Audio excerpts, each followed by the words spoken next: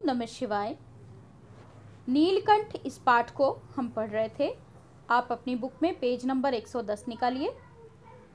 जब मेरे कमरे का कायाकल्प चिड़िया खाने के रूप में होने लगा, तब मैंने बड़ी कठिनाई से दोनों चिड़ियों को पकड़कर जाली के बड़े घर में पहुँचाया, जो मेरे जीव जंतुओं का सामान्य निवास है। लेखिका कहती हैं कि वे दोनों मोर के छोटे बच्चे मेरे कमरे में ही रहने लगे और परिणाम ये हुआ कि ऐसा लगता था कि मेरा कमरा कमरा ना होकर के एक चिड़ियाघर बन गया है। तब मैंने क्या किया कि मैंने बड़ी मुश्किल से उन दोनों मोर के बच्चों को पकड़ा और जाली का जो बड़ा घर था जहाँ पर मेरे पाले हुए और जीव जंतु रहते थे और पक्षी रहते थे, मैंने वहाँ उनको पहुँचा दिया।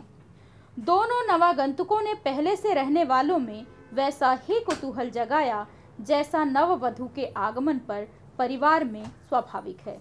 लेखिका कहती हैं कि जब वे दोनों मोर के बच्चे उस जाली में गए तो वहाँ रहने वाले जो बाकी पक्षी थे, उनके अंदर बहुत। ही कुतूहल की भावना जगी कि ये कौन आया है, और ये बिल्कुल वैसा ही था जैसा कोई नई वधु, कोई नई बहू जो होती है, जब उसका विवाह होता है और वो अपने ससुराल आती है तो लोगों के मन में एक कौतूहल होता है, जिज्ञासा होती है उसके बारे में जानने की।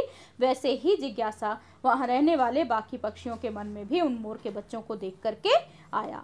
लक्का कबूतर नाचना छोड़कर दौड़ पड़े और उनके चारों ओर घूम घूम कर गुटर गूं गुटर गूं की रागनी अलापने लगे। जो कबूतर थे, उन्होंने मोर के बच्चों को देखते ही नाचना छोड़ दिया और उनके चारों ओर घूम घूम करके गुटर गूं गुटर गूं की आवाज़ निकाल रहे थे।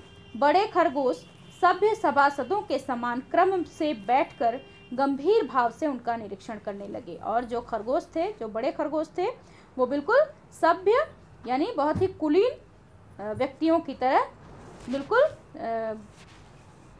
बुद्धिमानी और गंभीरता के साथ एक क्रम से बैठ करके उन मोर के बच्चों को देखने लगे। ऊन की गेंद जैसे छोटे खरगोश उनके चारों ओर उछल कूद मचाने लगे और उन खरगोश के जो छोटे छोटे बच्चे थे, वो उन मोर के बच्चों के चारों ओर उछल कूद करने लगे। तोते मानो भली भांति देखने के लिए एक आँख बंद करके उनका परीक्षण करने लगे और जो तोते थे, वो भी बहुत ध्यान से उनको देख रहे थे।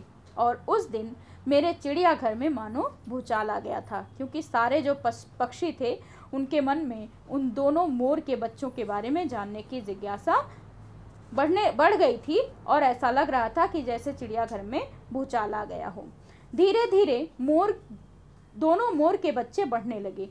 उनका कायाकल वैसा ही क्रमशः और रंगमय था जैसा इल्ली से तितली का बनना। लेखिका कहती हैं कि धीरे धीरे मोर के दोनों बच्चे उसी जाली के बड़े बड़े घर में बढ़ने लगे और उनका कायाकल्प बिल्कुल वैसा ही हो रहा था और वैसा ही वो सुंदर होते जा रहे थे जैसा इल्ली से तितली जब निकलती है तो वो बहुत सुंदर हो जाती है, बहुत खूबसूरत हो जाती है। वैसे ही पहले तो ये दोनों मोर के बच्चे तीतर के बच्चों की तरह लगते थे, पर जैसे जैसे वे बड़े होते जा रहे थे, वे बहुत ही सुंदर, बहुत ही खूबसूरत होते जा रहे थे। आज के लिए बस इतना ही। ओम नमः शिवाय।